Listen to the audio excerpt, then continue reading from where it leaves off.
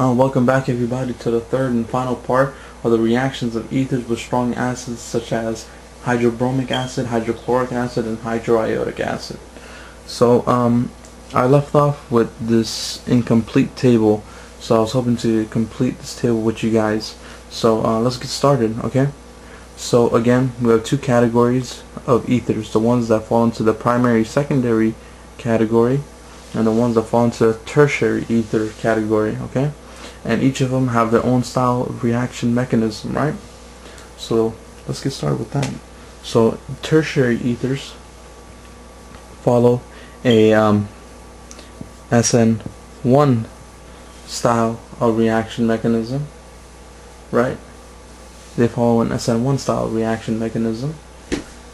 And primary slash secondary ethers follow an SN, oops, let's erase that. They follow an SN2 style of reaction mechanism, okay? So that's the first main difference between the two that you guys should keep in mind, okay? So again, refer to the previous parts where I explain and go through the reaction mechanism with you guys, okay? So now, um, the next thing, very important, in tertiary, in regards to tertiary ethers, is that again, we're fo focusing on uh, bromine as the conjugate base of the strong acid. So I won't go through all the detail of writing conjugate base, but I'll just write bromine attaches to more um, substituted carbon well that's referring to um, tertiary uh, ethers right and in regards to primary and secondary Br minus attaches to less substituted carbon okay? So that's the main um, difference between the two. So the bromine in this case attaches to uh, more substituted. Over here over here we have attached to less substituted carbon. So that's the main key difference between the primary secondary ethers and the tertiary ethers okay? So, um, the last thing I wanted to talk about is um, some examples of the types of ethers you'll see. And again, don't worry about how branched the molecule is, how confusing the molecule looks. Just find the oxygen between the two carbon groups, okay? And then check to see if the carbon directly attached to the oxygen is tertiary, primary, or secondary, whatever type of um, carbon you have attached to it and then separate them into either this category or this category and go about doing the reaction as I showed you in the previous parts okay? So some examples that you guys uh I don't need a dot there but some examples you guys can see or will see um, in, in regards to tertiary is if you have a so let's put a so if you have this type of um, ether okay this carbon is uh, tertiary this carbon is primary but it will still follow a, a tertiary style of reaction mechanism SN1 Br attaches to the more substituted carbon okay? So these types of um, th this is an example of the type of ethers you can see you will see. Another type you'll see is again if you have a secondary versus a tertiary. Okay, this also falls into this category, okay? And this carbons could be anything, so any type of R group, okay? So again, like I was talking about a little bit earlier, about how branched it could be, this is where the professor could confuse you and um, put like aromatic rings on or stuff that might stuff that are irrelevant to the re reaction itself and it might throw you off so just look at the carbon directly attached to the oxygen so R here um, this could be R R R okay so there's a lot of R's R there okay So any type of group, okay? Again, we're focusing on the carbon directly attached. Okay? And um, kind of running out of a little bit out of space, but hopefully I can make it.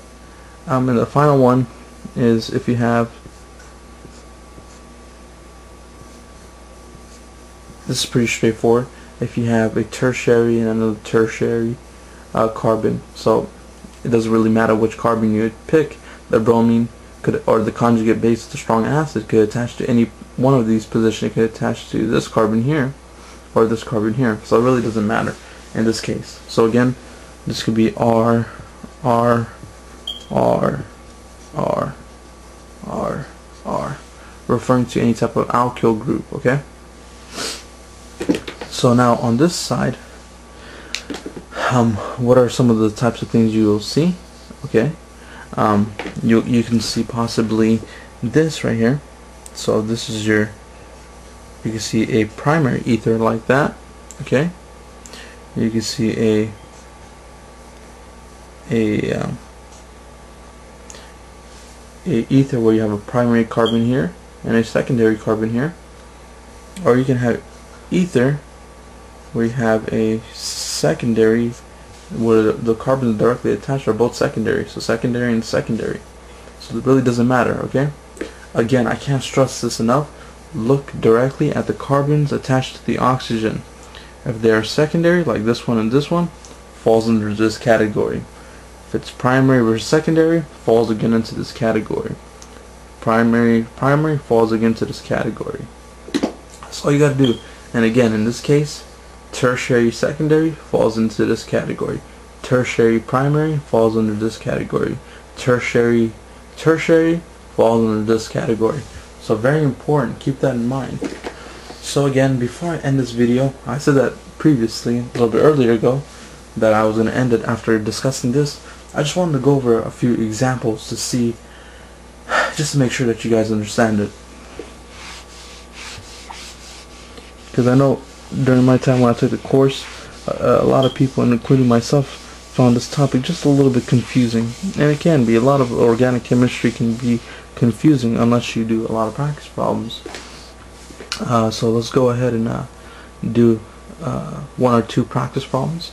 So let's just say we have um, this aromatic ring. Um, and um,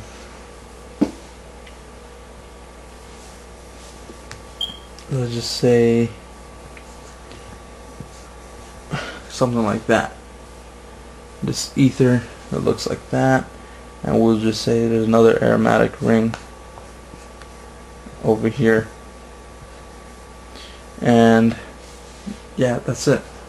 For so the first uh, reaction I'll keep pretty simple and we react it with hydrochloric acid. HCl okay? So um what would be the product of this uh, reaction? Sorry about the blurriness um that should go away pretty soon. The product of this reaction okay I'll draw them over here down here. Okay again we'll do is look at the carbon directly attached to the oxygen. In this case it's a primary so we'll put that down here. So primary right? And in this case it's secondary. Okay? So again this falls into the primary secondary category follows an SN2 reaction. Bromine attaches or in this in this case chlorine will attach to the less substituted carbon so attach here so what you'll form is a first off you'll form this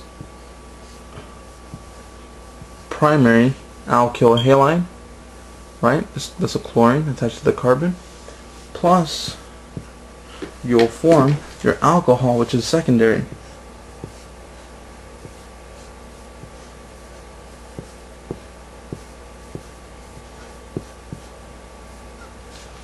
There you have it. That's all it is to it. Let's go over uh, one more example.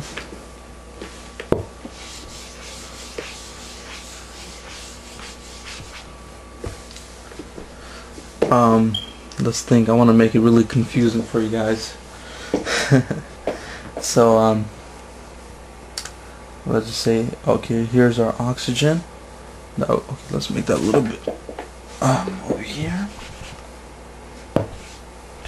So again, let's just say this is our oxygen that we're focusing on. Um, let's just say you have this system here that looks like that.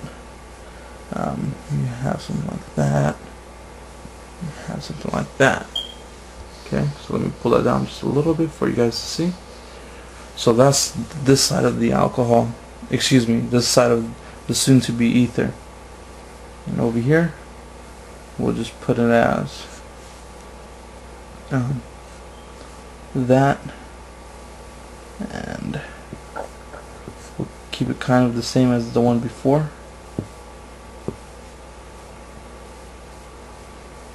This uh, aromatic ring on the side right here okay? So um sorry about the blurriness. I, I really dislike this camcorder I'm using because it's making most of the videos very blurry so again, we're reacting this with plus, let's try something else, hydroiodic acid, okay, HI. So, like I said, first thing to do, look at the carbon directly attached to the oxygen. Here we have a tertiary, because this carbon is attached to three other carbon groups, so one, two, three. And over here we have a secondary carbon, one, two. Okay, so now that we have that established, um, it will follow. We're supposed to determine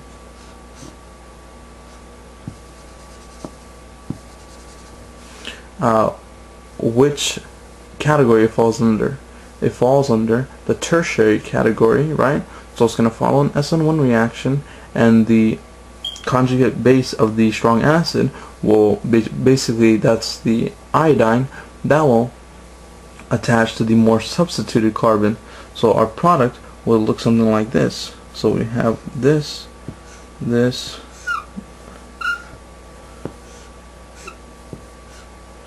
and then we have our iodine right? Plus now we have our alcohol.